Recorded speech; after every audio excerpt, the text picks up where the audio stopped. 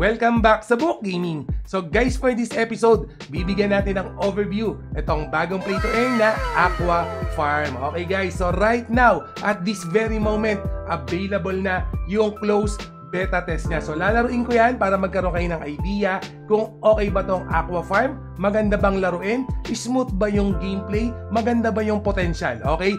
And madami pa silang update so wag na lang kayo mag skip dito sa video natin. And siguro, kung bago ka pa lang dito sa YouTube channel natin, pahit na lang muna ng subscribe button, pati na rin ang notification bell para ma-update ko kayo sa mga latest videos ko. By the way guys, dito nga pala sa Book Gaming Channel, nag-a-upload tayo ng mga bagay-bagay na pwede natin pagkakitaan. And speaking of pagkakitaan guys, huwag ka mag skip dito sa content natin for today. Bakit ba Book Gaming? Ba't hindi ako mag skip Kasi guys, meron tayong paayuda for today. Yes, meron tayong giveaway. Huwag ka mag skip baka ma-miss out mo yung mga mechanics. So wag na natin patagalin guys. Check na natin Okay, check na natin tong overview para kay Aqua Farm.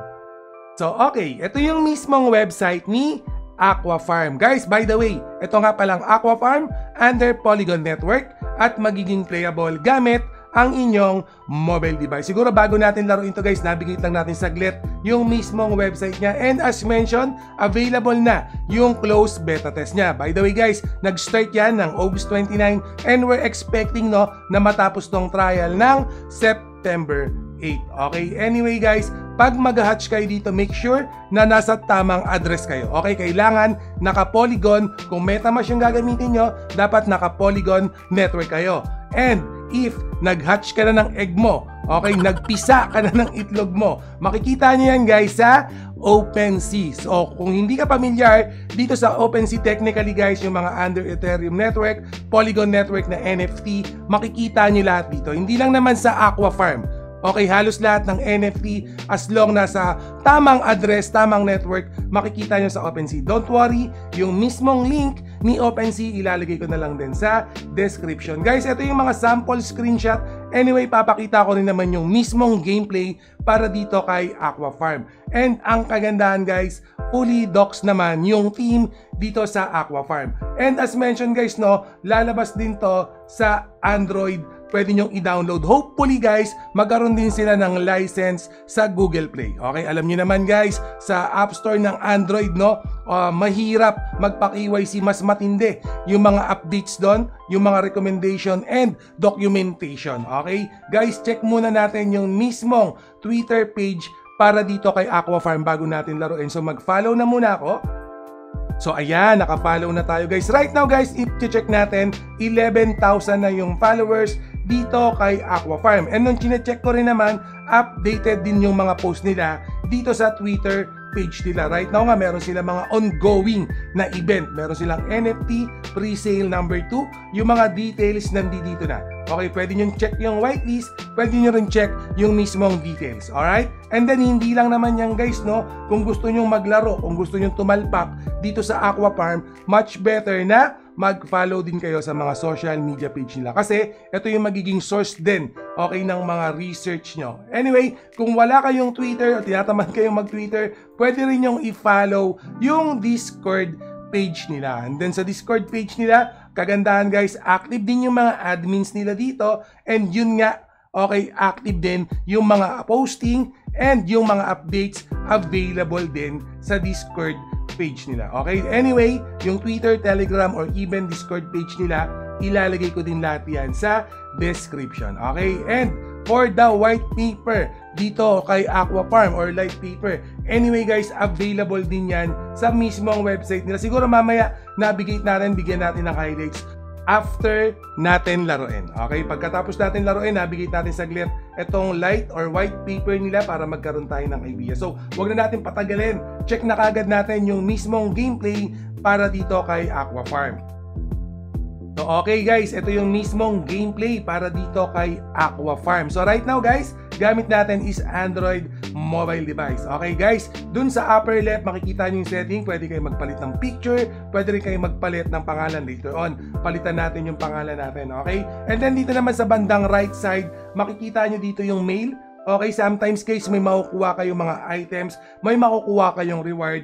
Pwede nyo siyang accept individually or para hindi maubos yung oras nyo, pwede nyo naman click yung accept all na lang. Okay? And then dito naman sa bandang kaliwa, nandito naman yung mga leaderboards or yung ranking. Okay, makikita nyo dito. Yan. So hindi pa naman tayo naglalaro. So technically yung rank natin nasa mababa pa yan. And yan, so ito naman sa marketplace guys, nasa bandang kanan din dyan, pwede kang bumili ng Evolution Stone, Stamina Potion, and then yung Conchorn. Actually guys, yung Evolution Stone, importante yan. Okay, kasi ayan yung item na pwede nating gamitin para mapa-level up yung mga character natin o yung tinatawag nila na ARI. Alright? So right now guys, ito yung nasa bandang kaliwa naman, yung mga event naman nila. Okay, so yung mga event, basically, okay, magkakaroon din ng announcement dito sa in-game nila. And then itong world map, pwede tayong sumilect ng mga stages, levels, para magpa-level up ng NFTs natin. Okay, so mamaya papakita ko sa inyo yung mga yon. And then ito naman yung mga items ko na available. For example, gamitin natin itong check din natin guys no yung farming system naman dito kay Aqua Farm. Guys, click nyo lang yung farm. Ito yung makikita nyo rin yung ibang may farm dito sa tab na to. Meron tayong my staking and then meron tayong my farm. So, meron tayong farm dito. Yung click natin. So, dito guys sa my farm, uh, technically, pwede kang mag-stake. Okay? Pero alam ko yung minimum na pwedeng stake dito around 1,000 something. No? And then, ito rin syempre yung setting no, kung ano yung um, pina, uh, mismong farm mo Okay, pwede kang mag-adjust dyan, pwede kang mag-upload if you want. And then ito guys, so ayan, yung token natin na Pudo kailangan minimum is 1,000. Right now kasi nasa 628 na lang. Okay, yung Pudo Elixir natin or yung Pudo token natin. Pero yun yan, no, kailangan mo ng 1,000. Kahit lagyan ko yan ng 600, hindi pa rin pwede. Kasi nga, 1,000 yung minimum. And then for more information yan, uh, syempre, pacheck na lang din ng white paper para sa farming nila. Alright? Wala nang gas fee gas fee. Okay, ayun yung kagandahan pag nasa mobile device, yung play to earn. So, accept na natin yan. Yan. So, ito yung character natin, yung mga stats niya. Okay, yung mga traits niya, nandito, pati yung skills niya. Makikita niyo sa bandang upper right, nandiyan dyan yung skills niya. Yan, nakikita niyo ba? Yan. So, kailangan natin ng XP muna para magpa-level up. Okay? So, mamaya papalibelin natin yan. And then guys, no, yung mga items niya by default meron na rin naman yan. Ito yung synthesis naman niya kung gusto mong i-upgrade pa itong NFTs or character mo. Okay? Ayun yung mga pwede natin gawin. So yan, apat na yung character natin. No? Mag-draw pa nga tayo ng isa para magkaroon tayo ng madami-daming ano. Alam ko, anim yung pwede mong italpak guys, no? Per round. Okay, so pwede namang isa. Pag tinanong nyo ako, Broke Gaming, ilang NFT pwedeng igamitin? Actually, isang NFT pwede na. Okay, pwede ka na maglaro, magagamit mo na yung character mo. Pero yun nga, no, para ma-maximize mo, okay, para mas malaging malakas yung chance mo, okay, at least anim. Okay, pwede mong ilagay dun sa round, no? Yan, sige, yung Guardian naman yung draw. Oh, nag-message pa si Naingad, no? So, yung Guardian naman, guys, ito yung pinaka-balyena. Okay, yung parang pinaka-floating island na ginagamit natin. Pwede mo tong gamitin, guys, kung nauumay ka na sa Guardian mo. So, testing natin. Yan! Okay, yung island guys nasa taas. Yan, ito yung nakuha natin by um, pressing the guardian button. No? Pero anyway guys, kailangan mo ng body dyan. Wala pa naman tayong body, so kailangan mo mag-add ng body. By default guys, ayun yung ginagamit natin, no? yung kulay green. So ito na yung panibagong guardian. Pwede naman natin gamitin yan. Click mo lang yung use button nasa kaliwa. Okay, nakita mo nasa left side. And then ito yung mismong island, pwede kang magtayo-tayo ng mga decoration sa island na yan. Okay? And then click mo lang para lumabas ka dito sa island views mo. Okay, para makita mo naman yung default na guardian mo. So, pag kinlik mo yung uh, in Oasis, okay, papasok ka dun sa pinaka-island. Alright? Then, accept all mo lang kasi almost all the activities meron kang reward na makukuha. Okay, so ngayon, um, check natin. Okay, meron na tayong limang NFTs, meron na tayong limang character. Okay, ipalebelin din natin. Ito parang super science pa, no? Yan, so may iba't ibang um, traits, iba't ibang skills, iba't ibang rarity. Itong mga NFTs natin, may mga tanker dyan, may mga skiller. Okay, punta tayo ng world map. Yan. So right now guys, nakita, uh, nakita nyo may sinet akong tatlo. So click nyo lang muna yung placement para maayos nyo yung team nyo. So uh, by default, pwede kayong gumawa ng team number 3. And um, nakita ko na natin yon 5 lang pala, no? total 5 of 5. So siguro hanggang 5 lang talaga. Okay, limang NFT, limang character lang yung pwede mong uh, ilagay per round kasi I'm doing close beta test din, no? Blind gameplay. Itong ginagawa natin right now sa battle natin. Yan. So guys, again, if na-set up nyo na yung character nyo, na-put nyo na yung mga placement niya, um, default, okay, kumbaga idle gaming na yan, automatic na silang a-atake. Okay guys, naka-speed 1 lang tayo, upper right, makikita nyo. Pwede nyo pabilisin yan, yan, speed 2 natin.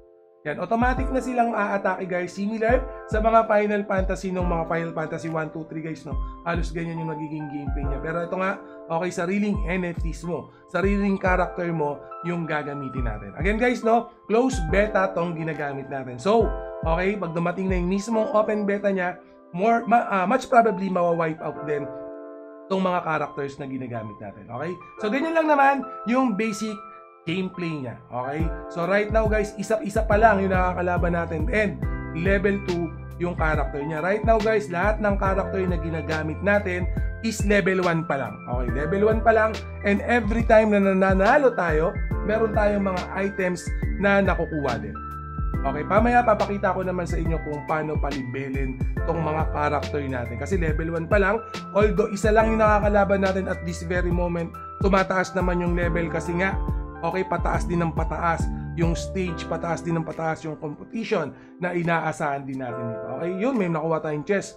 Okay, sige, laruin lang natin, pakita ko lang din sa inyo. And then mamaya guys, magpapa-level up na tayo. Okay, papa-level, eh, level 3 na yung kalaban natin, no? Although sa ranking natin, okay, sa setup natin, since 5 versus 1 yan, kahit level 3 pa yan, okay, mas lamang pa rin talaga tayo dyan. Okay, anyway, nasa earliest stage pa rin naman tayo nitong mismong game niya. Yan, so nanalo tayo. So magpa-level up muna tayo. Yan, so click natin yung um, Airy. Okay, bili muna tayo ng Evolution Stone guys. Yan, marami naman tayong items, no? Meron pa tayo 620. Kailangan kasi natin ng Evolution Stones. And then, para level up yung character, punta lang kayo ng Airy, yan, pa-level up nyo lang using Evolution Stone. So, dapat guys, mapa-level 12 mo na siya. Okay, pero gagawin lang natin, ile-level 5 lang natin. Kasi level cap natin nakalagay level 12 na. So maximum pwede mo na siyang gawing level 12 pero gawin lang natin um, level 5 muna lahat. Kasi guys, siguro pag lumabas na yung game na yan, magiging critical na yung prices din no nitong Evolution Stone. Okay, right now nagagamit natin siya ng almost free pero I I doubt na pag dumating na yung open beta niya, okay? Um, ganun pa rin kamura, ganun pa rin kadali gamitin tong mga items like Evolution Stone, like nung Elixir na ginamit natin pambili sa Evolution Stone. Definitely magkakaroon ng scarcity yan. Okay, mahihirapan tayong kumuha niyan. Okay, kadalasan naman sa mga ganitong game, ganun yung nangyayari. Eh, naubos na. Oh. Pero siguro okay na to. Meron tayong apat na level 5, isang level 3. Okay, check natin yung um, pinaka-boss na yata to. Dito sa stage 1, no? Ayan, nasa pinakadulo na nga tayo, no? O level 4, tsaka level 3 yung makakalaban natin. So, kalabanin natin yan. Since um, naka-buff na yung mga character natin, feeling ko, kayang-kaya na nila yan. No? Buff na buff na yan. Ayan. So, magaganda yung may skill na meron tayong taunt. So, basically, yun yung magiging tanker natin. And then, um, pag nag-taunt sila, okay, uh, siya yung aatakihin no, ng mga kalaban. So, gamitin lang natin. So, kaya-kaya pa rin naman guys, no, early stage Looks like wala pa rin problema, kayang-kaya. Yan, may nakuha tayong mga panibagong item. Again, boss stage na to. Okay, basically, once na natapos na natin yung boss stage ng stage 1, we can proceed na sa stage 2 map. Okay, makapunta na tayo sa stage 2 map. Nasa na ba yan? Eh, nakita natin guys, oh. Clear, clear, clear, clear na yung stage 1 natin. Okay, pag na-clear mo na lahat yan, yung stage 2 na map, yan, oh pwede na natin ma-access yan. Okay? Available na yan. Pwede ka nang mag-farm dito. Okay? Pero yun nga, this game, okay, hindi na muna tayo magpo-proceed. Kayo guys, pwede na kayo mag-proceed. Kung gusto nyo, pwede nyo nang download itong game na to. Again guys, ito yung mismong, okay, a dashboard para dito sa play to earn na to. So ayun guys, nakita na natin yung mismong gameplay niya. So, honest opinion, Book Gaming, okay ba sa'yo yung play to earn? Book Gaming, okay ba sa iyo yung gameplay. So, nung nilalaro ko siya kanina guys, especially no, yung um, intro niya, parang lag siya. Okay, naramdaman ko na lag yung balyena.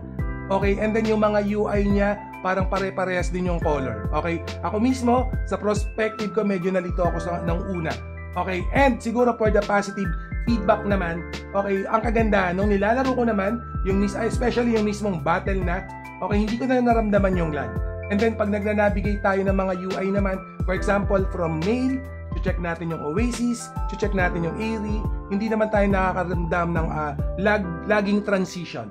Okay, which is mas okay sa akin. Okay na mag-lag sa animation, wag lang sa mismong game kasi magiging handicap yan in the uh, game gameplay mismo. Okay?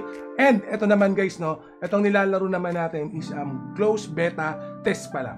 Okay, kung baga, talagang um, hinahanap din nila yung mga negative na para ma mas ma-improve pa yung play to earn na to. Okay, by the way guys, uulitin ko. Okay, pag nilaro nyo to, kailangan naka-Polygon network kayo, kailangan mag-download kayo ng MetaMask nyo. Okay, hindi nyo siya pwedeng laruin pag application lang. Okay, and then by default, alam ko pwede nyong check okay, yung um, referral code sa Discord. Mag-follow na lang kayo sa Discord para makuha nyo yung referral code. Okay, nakakalat na yung mga referral code dyan. Okay, alam ko kasi may refer, uh, referral code dyan. Anyway, etong play to earn din na to, ilalagay ko din yan sa Wikibit. Alam niyo naman guys, dito sa Wikibit, dito ko nilalagay yung mga documentation ng mga nire-review natin. Same time, itong sa Wikibit din kasi, dito nilalabas yung mga latest news about crypto, play to earn, NFT, blockchain, or even mga airdrops ayuda pagdating sa Metaverse. Book Gaming guys, official analyzer dito sa Wikibit. So, again guys, no, um, siguro tatanungin nyo, Book Gaming, okay ba sa'yo yung play to earn na to? Book Gaming, tatalpa ka ba dito sa play to earn na to? Right now guys, ako mismo, okay sa akin yung play to earn na to. Okay, kung tatalpak ako, yes, tatalpak ako. Kasi nga, pwede ko muna siyang laruin. Okay, lalaruin ko muna. Right now, nung laro ko, okay naman sa akin. Mukhang may potential naman. Okay, pero ang tanong, tatalpak ka ba? mag invest ka ba? Yun yung dapat mong itanong sa sarili mo. Guys, always check your capacity. Okay, check nyo din yung kapasidad nyo. Kung kaya nyo ba sa magtalpak, kung kaya nyo bang mag-invest sa mga ganitong klaseng play to. Kasi nga, kung pangungutang mo lang, kung ilo-loan mo lang, yung pang i-invest mo, pantatalpak mo, wag na lang muna. Okay, anyways, right now naman, no, itong Aqua Farm free to play naman. Itong closed beta, laruin nyo guys. Okay, wala kayong babayaran pag download, wala kayong babayaran sa paglaro. Okay, laruin nyo lang siya. Okay, subukan nyo muna kung para sa iyo ba yung play to earn na to. And then if you're decided na gusto mo tong play to earn na to, make sure na mag-join ka sa Twitter, Discord, Telegram page na para makapag-research ka din. Okay? At bukod pa dyan guys, no, mamimigay pa tayo ng 200 pesos worth of Gcash. Yes, Paano ka makasali sa giveaways? Paano ka makasali dito sa airdrop natin sa Book Gaming? Guys, click nyo lang yung Facebook page link na dyan na yan sa description. Nakapin pa yan sa comment section. Guys, sumali kayo sa mga giveaways natin. Tuloy-tuloy yung bigayan. Okay, madami na kaming nabigyan and madami pa tayong bibigyan. Book Gaming, bakit naman ang dami mong paayuda? Bakit mo pa ginagawa yan? Simple lang kasi, Book Gaming loves you all. See you again in my next video. Salamat! Mwah!